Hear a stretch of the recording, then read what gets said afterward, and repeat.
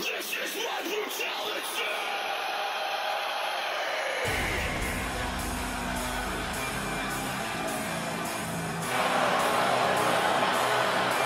Get ready for brutal judgment. Rhea Ripley is a tough, tough woman.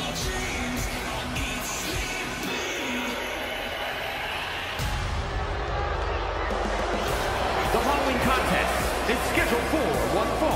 Making her way to the ring, representing the Judgment Day. From Adelaide, Australia, Rhea Ripley. Pure evil on the face of the Eradicator. You call it evil, but it's also effective, competing on an even higher level since joining the Judgment Day. I hate to say it, Corey, but you're right. Absolute dominance from Rhea Ripley as of late.